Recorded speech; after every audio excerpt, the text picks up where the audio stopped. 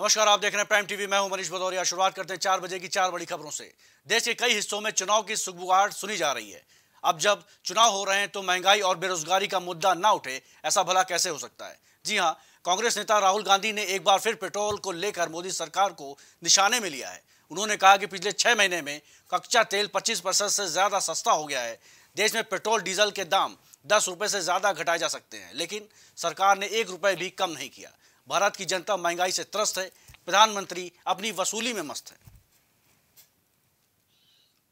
इस खबर पर हमारे साथ गौरव मौजूद है। गौरव, राहुल गांधी ने प्रधानमंत्री पर आरोप लगाया है और कहा जब पेट्रोल के दाम दस रुपए से नीचे सस्ते किए किए जा सकते हैं तो फिर क्यों एक रुपए ही सस्ता किया गया है? और साथ में यह भी कहा है कि प्रधानमंत्री अपनी वसूली में मस्त है और भारत की जनता जो है महँगाई से त्रस्त है। क्या कहेंगे आप? क्या दौर है आप कोई कुछ कर सकता है, पर निश्चित यहाँ पर ये जानकारी मिली है कि अंतर्राष्ट्रीय बाज़ार है पेट्रोल के रेट है वो कम है, जो प्रति बैरल का जो रेट होता है पेट्रोल का अंतर्राष्ट्रीय बाज़ार में, वो कम है सुना है और निश्चित रूप से यहाँ पर पेट्रोल के रेट कम होना चाहिए और राहुल गांधी ट्वीट भी किया है इसको लेकर कि जो पेट्रोल के दाम है प्रतिशत के हो चुके कम हो चुके हैं अंतर्राष्ट्रीय बाज़ार में इसके हिसाब से पेट्रोल के रेट अब भारत में कम होने चाहिए। हालाँकि अब तक कुछ कमी की बात नहीं कही गई, क्योंकि पेट्रोल कंपनी वाला की कहना है पेट्रोल कंपनी का कहना है कि जो हमको नुकसान हुआ है, पहले भी रेट महँगे रहे उसके बाद सरकार के आदेश के मुताबिक महँगाई लगातार बढ़ रही है रेपो रेट लगातार बढ़ रहा है जो खुदरा मूल्य की कीमतें लगातार बढ़ रही है उसको देखते हुए यहाँ पर पेट्रोल रेट कम होना चाहिए। इसको लेकर सरकार ने अचानक से फैसला भी लिया था और जुबाई सड़क पेट्रोल का रेट एकदम से मतलब सस्ता कर दिया था तो उसके चलते पेट्रोल कंपनी का भी नुकसान हुआ था और अब शायद वो नुकसान की भरपाई यहाँ पर की जा रही है। नुकसान क्या हुआ है कैसे हुआ है भरपाई हो रही है ये तो गवर्नमेंट बेहतर जानती है और पेट्रोल कंपनियाँ बेहतर जानती है। देश में जो पेट्रोल खरीदते हैं वो पेट्रोल कंपनियों के हिसाब से क्या होती है कि पेट्रोल कंपनी के हिसाब से रेट मिलता है उसी प्रतिशत के हिसाब से पेट्रोल के रेट बढ़ते हैं। अब पेट्रोल की कोई स्थिति नहीं बची है कि बाजारों में जब ऐसा होता है कि पेट्रोल के दाम सरकार कम करती थी सरकार के आरोप पेट्रोल दाम कम हो जाते थे। यहाँ पेट्रोल कंपनी दाम डिसाइड करती है उनके हिसाब से पेट्रोल के रेट बढ़ते घटते रहते हैं बट इससे अगर पेट्रोल सस्ता यहाँ पर मिल रहा है तो शायद राहत देश के पैसों को मिलनी चाहिए। उपचुनाव के इस समय गर्मा गर्मी छाई हुई है। आपको क्या लगता है कांग्रेस ने अपने प्रत्याशियों को क्यों नहीं इस उपचुनाव में उतारा? और दूसरी सबसे बड़ी बात की राहुल गांधी इस समय मंदिर मंदिर भ्रमण कर रहे हैं। क्या उनके दिमाग में जनता को लेकर क्या उनका नया एक विचार बन रहा है कि किस तरह से जनता को लुभावित कर सकते हैं अपने अपने अपने को लेकर? देखिए मनीष कांग्रेस और बसपा की बात करें तो उपचुनाव में कम है। कांग्रेस का भी यही शुरू से नीति रही है उपचुनाव में नहीं जाएँगे। और वो हमेशा देखते हैं कि अगर मुख्य विपक्ष देखें उनका मुख्य विपक्ष भारतीय जनता पार्टी उनका मानना जो पार्टी बीजेपी को हराएगी, हम उसको एक हिसाब से स्थानीय समर्थन दे देंगे चुपचाप आखोबर दे देंगे। तो यही इनकी नीति रही है सीधे चुनाव में लड़ते हैं। जब वो देख रहे हैं रामपुर, खतौली और मैनपुरी में जहाँ पर सपा भाजपा की घमासान है तो निश्चित रूप से वो यहाँ पर चुनाव लड़ते तो कहीं ना कहीं यहाँ पर वोट कट्टा और वोट का नुकसान, मेरे ख्याल से यहाँ पर समाजवादी पार्टी को धारा पड़ता इसलिए सपा को यहाँ पर पूर्ण रूप से समर्थन मिले और जनता कहीं यानी भ्रमित ना हो। तो ये चुनाव मुख्य सपा भाजपा को हो रहा है तो सीधे होना चाहिए। उस हिसाब से वो चुनाव में प्रत्याशी उतारती है इनकी स्पष्ट नीति फ़िलहाल देखते नज़र आ रही गौरव राहुल गांधी की जो यात्रा इस समय चल रही है वो आपको क्या लगता है कितनी सफल आपको नज़र आ रही है? और बाकी उपचुनाव में तो उनकी कोई भी गतिविधियाँ बहुत ज़्यादा नज़र नहीं आ रही हैं। हाँ मंदिरों के दर्शन ज़रूर हो रहे हैं। तो आपको क्या लगता है कितना फ़ायदा उनको इस यात्रा से मिलने वाला है? देखिए मनीष देखिए यात्रा क्या है और यात्रा डेढ़ सौ दिन की यात्रा है। प्रतिदिन राहुल गांधी यात्रा में तीस किलोमीटर प्रतिदिन चल रहे हैं। बारह दस राज्यों को और दो केंद्र प्रदेशों में होकर जाएगी गुजरात भी जाएगी अभी मध्य प्रदेश में यात्रा है। यात्रा का अपना एक व्यवस्था है और निश्चित रूप से भारत लोकतांत्रिक देश है। यहाँ पर समय समय पर प्रचार रोड शो इस तरह की जनसभाएँ चलती रहती है।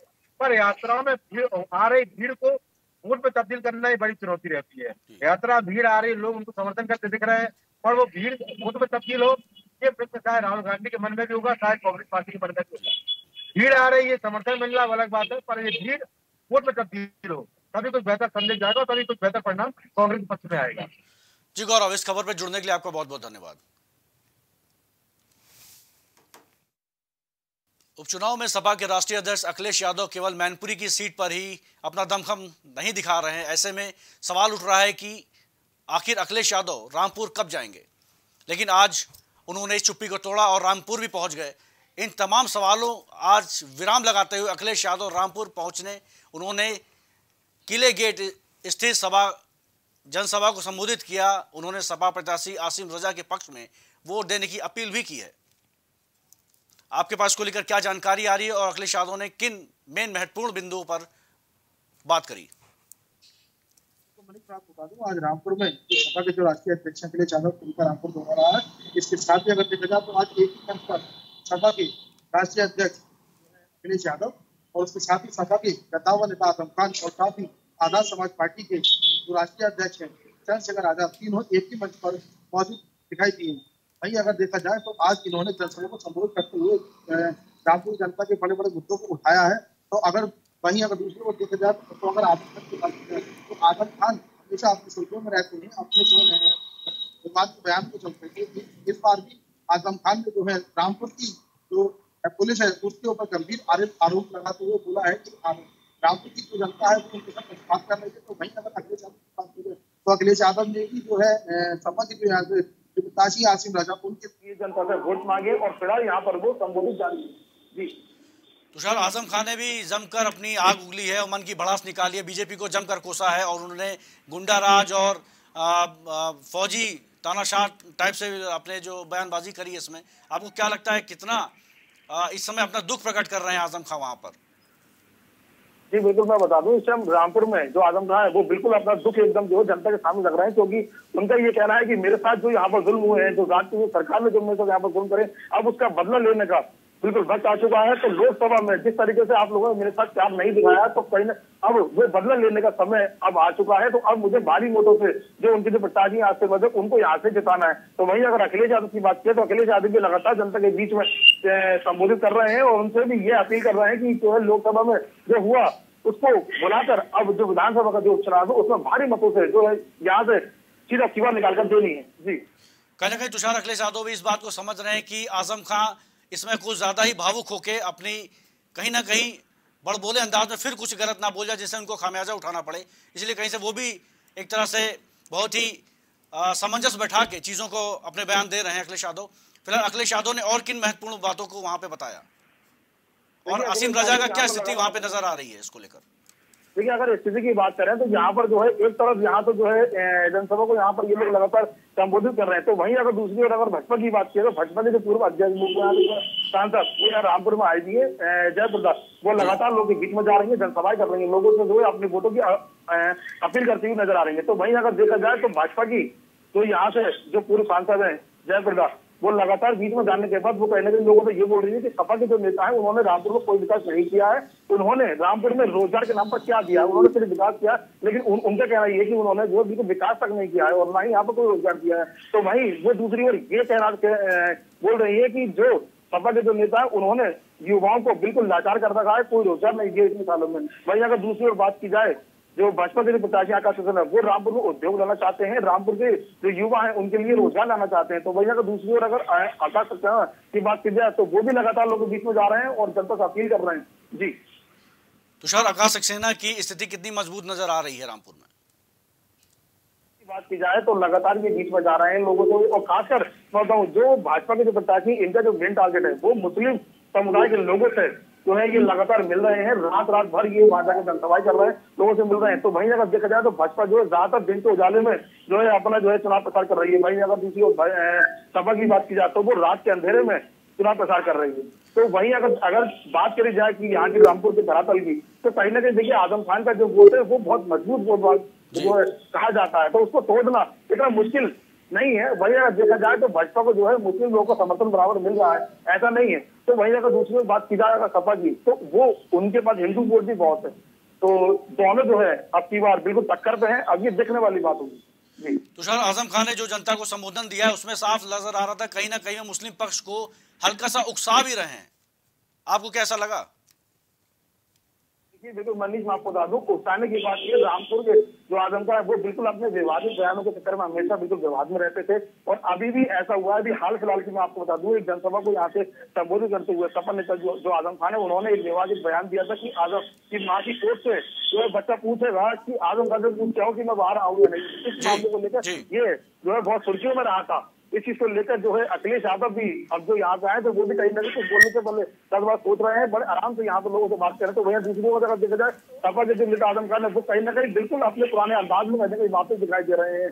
उनके ऊपर किसी प्रकार का जो ये मुकदमे लगे ये कहीं ना कहीं उनके विवादित बयानों के चक्कर में भी लगे हैं। ये हर कोई जानता है और ये जो जो प्रोसेस हुआ था ये किसी राजनीतिक के चक्कर में नहीं हुआ था। ये उनकी जो गलतियाँ थी वो सामने आई। और इसी चीज़ को लेकर जो भाजपा की जो पूर्व सांसद जय प्रदा उन्होंने प्रेस कॉन्फ्रेंस करके यही चीज़ बोली कि आज़म खान के साथ जो हो रहा है वो उनके कर्मों की सजा उनके सामने आ रही है। यह कोई राजनीतिक मुद्दा नहीं है। यह उनके कर्मों की सजा है जो उनके सामने आ रही है। और ये तो बहुत ये तो कुछ भी नहीं है। इसके साथ उनके साथ अभी बहुत कुछ होना बाकी है। ऐसा उन्होंने बोला और जो की कोर्ट से मामला होना है। जी।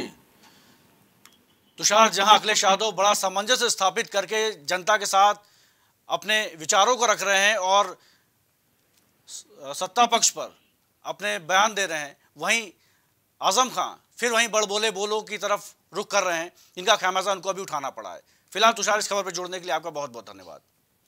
समाजवादी पार्टी के प्रमुख अखिलेश यादव के साथ पुनर्मिलन होने के बाद प्रगतिशील समाजवादी पार्टी के संस्थापक शिवपाल यादव ने मैनपुरी और इटावा के लोगों से अखिलेश को छोटे नेताजी कहकर पुकारने को कहा है।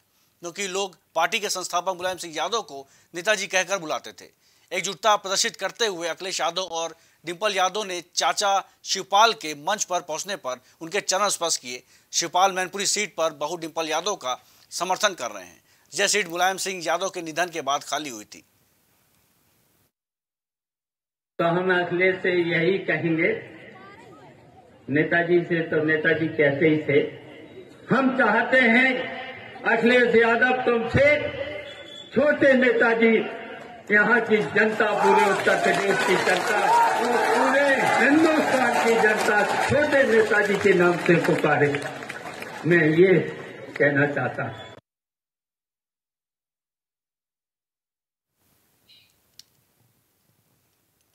इस खबर पर हमारे संवाददाता विवेक हमारे साथ जुड़ चुके हैं। विवेक, अखिलेश यादव के समर्थन में शिवपाल खुलकर आ गए हैं और उन्होंने ये जो मेन विलाप का दौर चल रहा है, ये बहुत ही कुछ मधुर भी नज़र आ रहा है।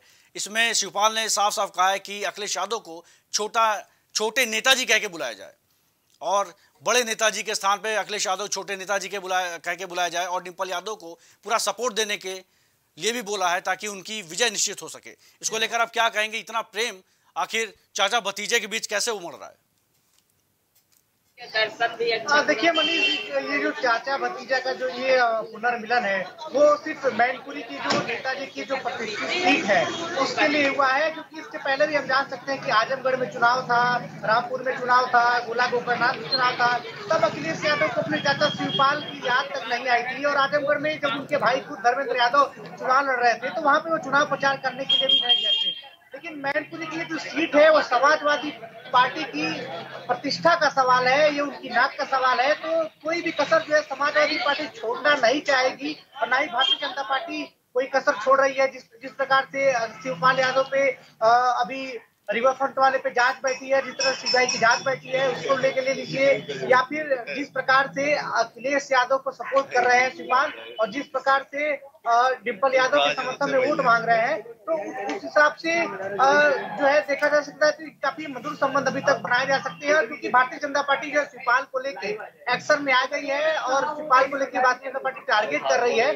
और कल की अगर अगर बात की जाए तो कल अखिलेश यादव ने अखिलेश यादव को शिवपाल यादव ने जनसभा के तौर पर छोटे नेताजी कहकर संबोधित किया।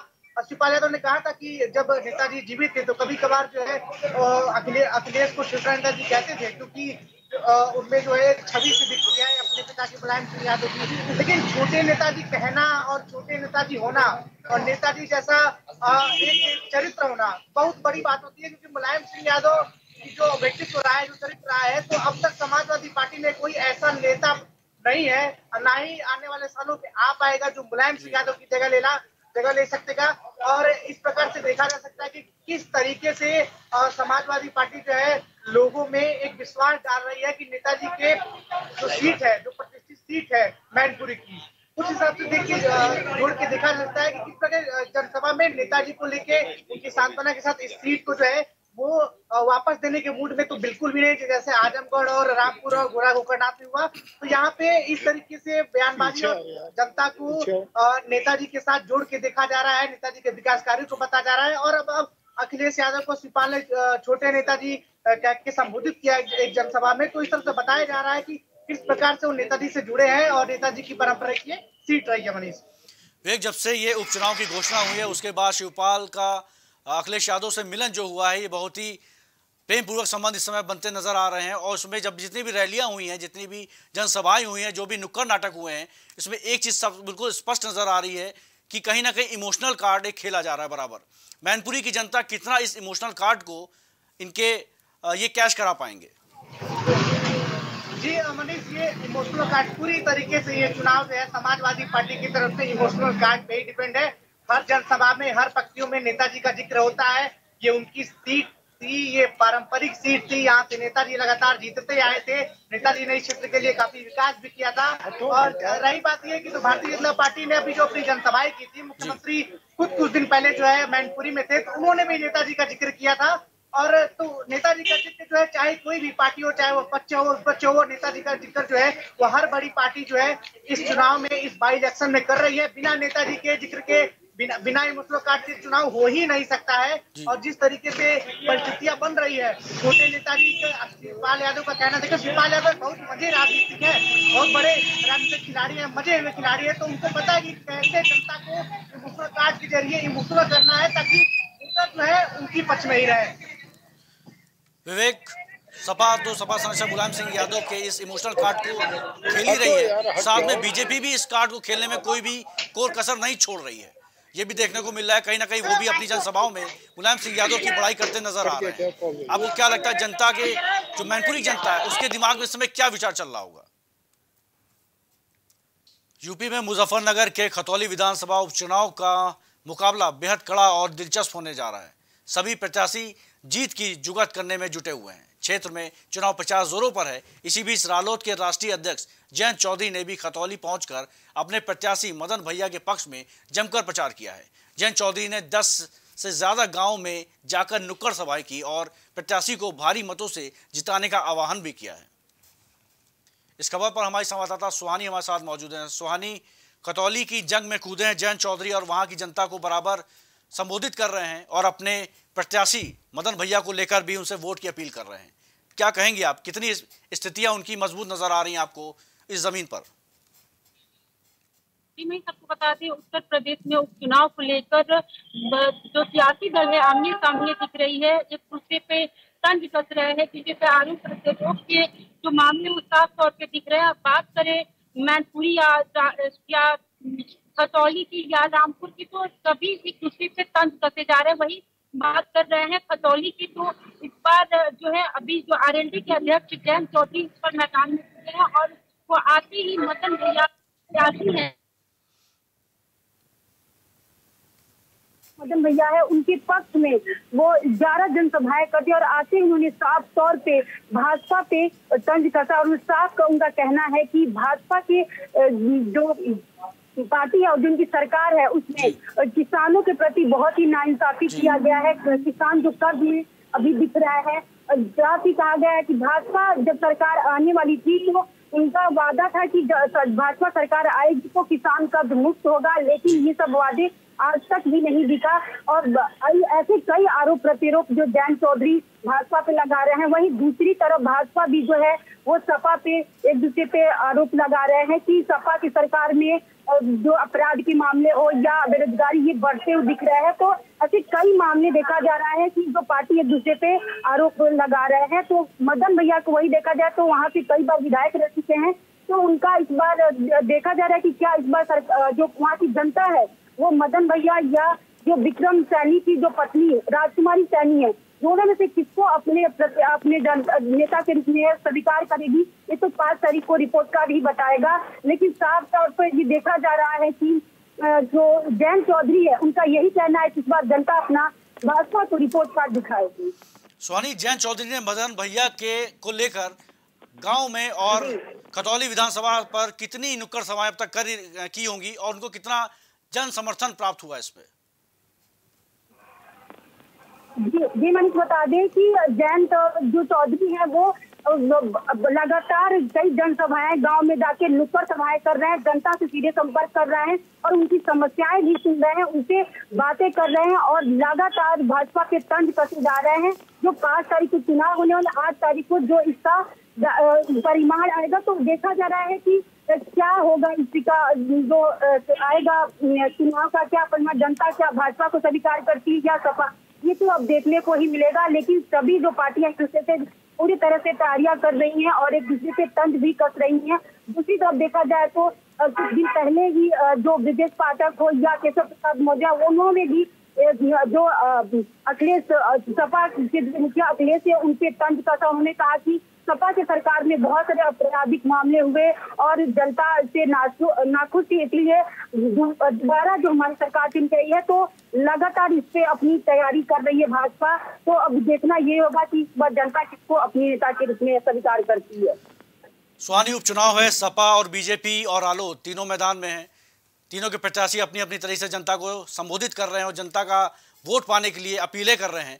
जयंत चौधरी खुद मदन भैया को लेकर दस से ज़्यादा नुक्कड़ सभाएँ कर चुकी है। फ़िलहाल देखना ये होगा कि ये जनता का रुख क्या होगा। फ़िलहाल सुहानी इस खबर पर जुड़ने के लिए आपका बहुत बहुत धन्यवाद। फ़िलहाल ये थी चार बड़ी खबरें। चार बड़ी खबरों में बस इतना ही। फ़िलहाल देश प्रदेश की खबरों के लिए देखते रहिए प्राइम टीवी। नमस्कार। कुछ भाव पुष्प। आप देख रहे हैं प्राइम टीवी। सच साहस।